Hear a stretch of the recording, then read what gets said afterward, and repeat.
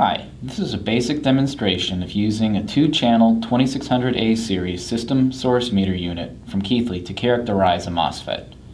We will generate a family of curves using the internal web page, the TSP Express software in that internal web page connected to via Ethernet. This is a useful application for people in the semiconductor industry, university researchers, and other customers. Here we have a standard three-terminal N MOSFET we'll be using SMU-A here as a voltage source and an ammeter. It will sweep the voltage from the drain to the source. It will measure the drain current.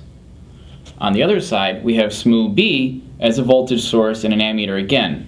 It will step the gate source voltage as we go through the characterization. My 2602A is already connected via one-to-one -one Ethernet connection to my laptop with an Ethernet crossover cable. It's set up with a static IP. That's just to be used for today. Setting up the Ethernet connections for the 2600A is outside the scope of this video and will be done in a later video.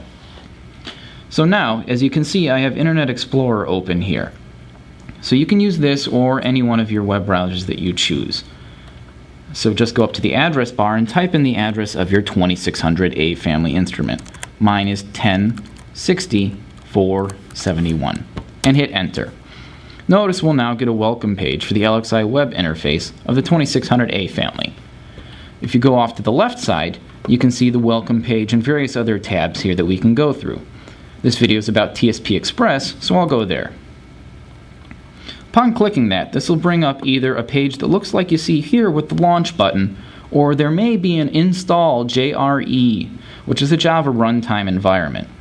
You have to do that only once per computer, so you may need to do that before you see this launch window. Just go through the installation instructions there, and then continue on. Reboot the system, and then reopen the browser and type in the address again. You should now see the launch button. So let's click here. At the bottom here, or perhaps at a top toolbar depending on your web browser, there should be something that says do you want to open or save this KI Java file. Let's open. This now opens up the TSP Express webpage. I'll maximize that here for our viewing. If you notice under the Quick Start, there's an option for multiple SMU sweeps and measurements. We're using two SMUs here to sweep on our MOSFET, so this sounds like a good starting point for us. Click that.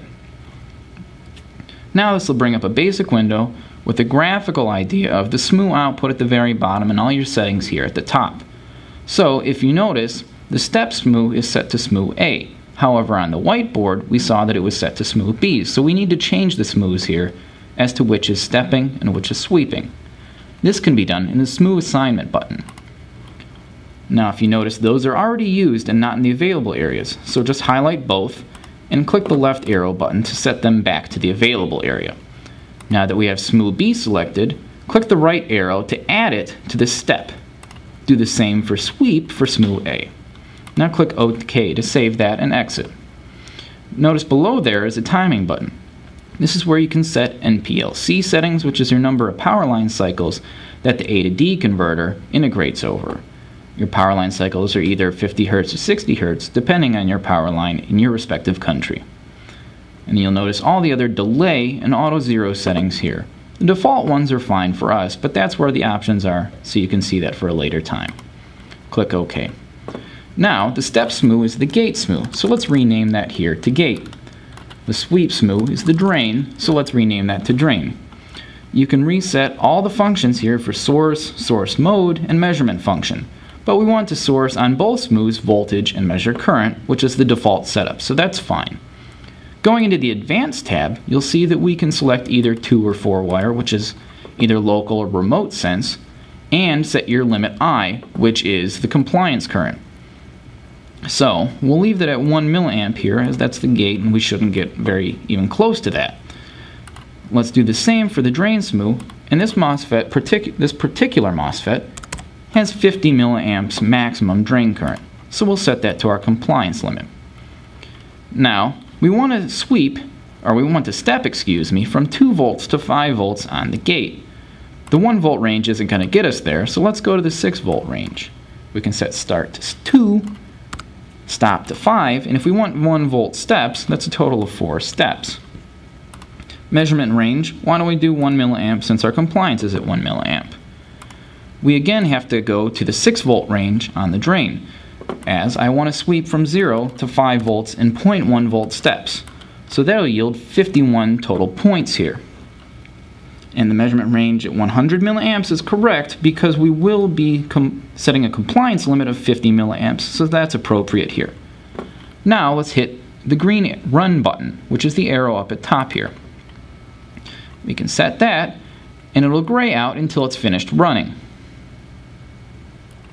If we click over to the Data tab, we can see that the data is going into the table here. It's back, and now it's done. So let's display it as a graph. This looks almost like what we want, except it's a little bit off as they aren't on top of each other here, the curves.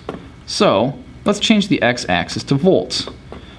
Here, now we see a typical graph of what we expect for a family of curves for a MOSFET. We can make it a little bit zoom in or a zoom fit, or however you wish to do that here. Notice there's also an export button at the bottom here.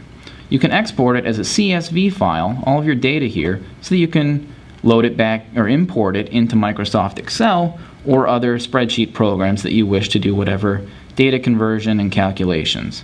I won't do that here, but that's just an option that I wanted to show you. So this has been a simple test showing how to use TSP Express built in in the 2600A family to characterize a MOSFET.